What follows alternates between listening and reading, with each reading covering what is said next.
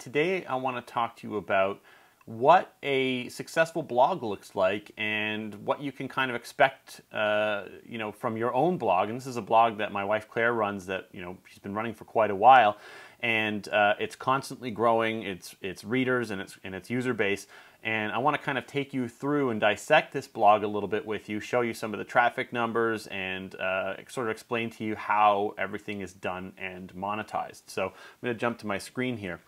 This is Claire's blog, and Claire's a vegan. My wife and I are both vegan. She does a lot of um, uh, of business in the vegan world. She actually owns two or has written two vegan cookbooks. So you can see here on the blog. On the left here we have content. Uh, sometimes it's videos, sometimes it's articles about travel, sometimes it's recipes. Uh, there's a variety of different things that are used. Uh, product reviews are put in here. There's a variety of different content that goes into this blog. And then on the right hand side, we have a few elements here. So the first element is the share element. And uh, I've done some tutorials already on how to put these particular items on your blog. Uh, you can put them into your blog posts, or in this case, Claire has actually added this code to her sidebar so that every page dynamically loads in a, a tweet button and a Facebook button and a StumbleUpon button. And these buttons will actually help you to get more traffic from people as they visit your blog because if they click like, your link goes up on their Facebook wall. If they click a stumble button, they're at, you're added to their StumbleUpon profile, and the same goes with Twitter. And then the next line below here is get updates. Now this is really simple. Get email updates from us, enter your email address. You put in your email address and you click get more recipes. And every time this blog is updated, Blendtec Immune Booster Shake recipe gets added on September 22nd. Whoever put their email address in here will automatically get sent an email. That's performed by FeedBurner. It's a free email service. Um, I'm doing another video on that at some point. And then you can see below here, we've got a why pay more for auto insurance. Uh, it's an auto insurance banner. So this is a, a, sort of an easy monetization here. We've just got, you know, insurance is kind of a wide category. Now in Claire's case, Claire has two vegan cookbooks. So the majority of the people who come to this website, uh, they take one of two actions. They either join Claire's list, and sometimes they do both. They join Claire's list, or they click on one of the banners for her cookbook. And what will happen is, I'm actually going to open the tab that this goes to. This goes to the website that Claire has for her cookbook. Now this also runs on WordPress, and this is basically a sales site for her cookbook. And she has a get free recipes option that's built into this as well. Uh, it basically allows us to collect some email addresses for, from people.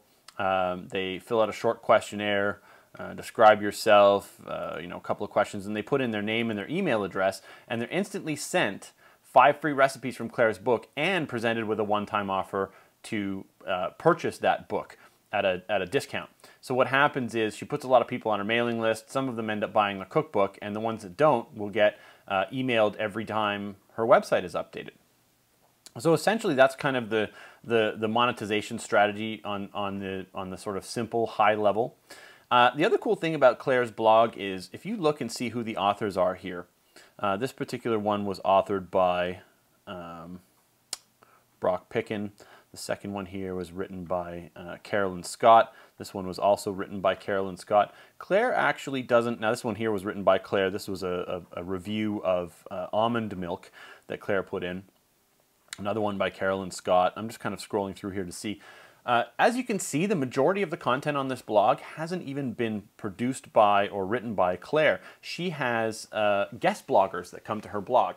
Now, guest blogging is a strategy that uh, I highly recommend if you're going to run a blog that you want it to be really successful, you can have other people write content for that blog and that will help you to build up the popularity of your blog. So don't think of it as a one person show. Try and figure out a way to leverage other people's uh, content to make your blog more popular, to get more readers in, and to, and to keep your subscribers happy.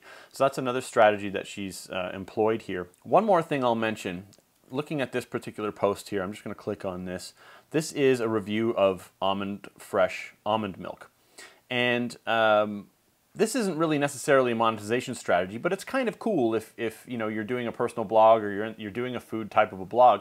On a regular basis, I would say at least maybe once every week or every two weeks, Claire gets a contact from a food company and uh, a lot of the time they're offering to pay her to do recipes or they're offering to um, uh, you know pay her to run a contest through her website or pay, pay her to mail her email list and in a lot of cases they'll send us free coupons. In this case, this company sent us a bunch of free coupons for almond milk.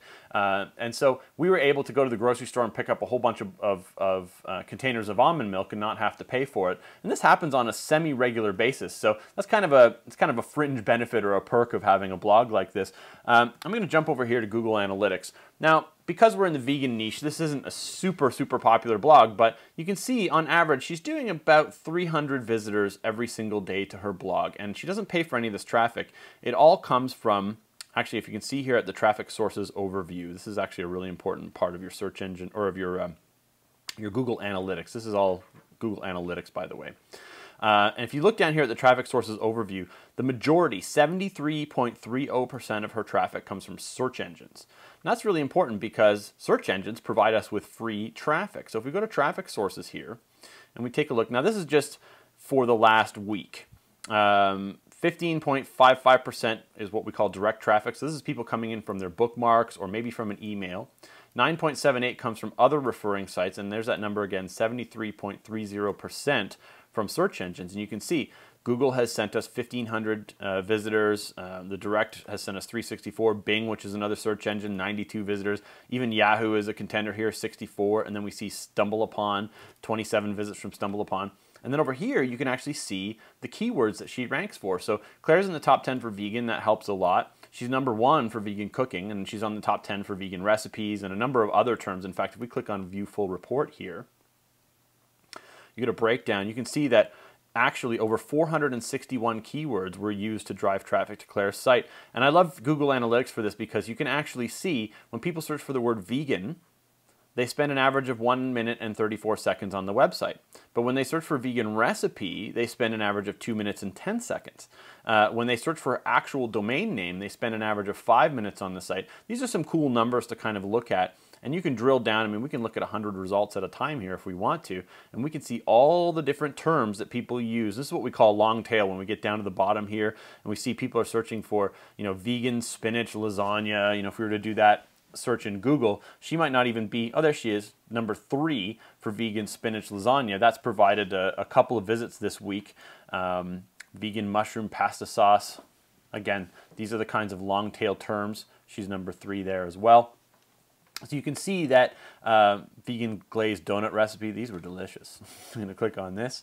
Um, where is she here? I just want to see where she shows up. This is just to give you an idea of how it works. So she's a little bit, little bit lower down on the list here, but it just kind of gives you an idea of where all the traffic comes from. And this is a good example of a blog that is loaded with content. You know, if, if we go back here, Claire has hundreds and hundreds of posts on her blog. A lot of them are recipes. If we go to the recipes section alone, there are a ton of different recipes in different categories. And so each one of these starts to create what we call long tail search traffic. And so the more content you put up on your blog, the more pages Google will index and the more traffic Google and other search engines and social sites will start to send you.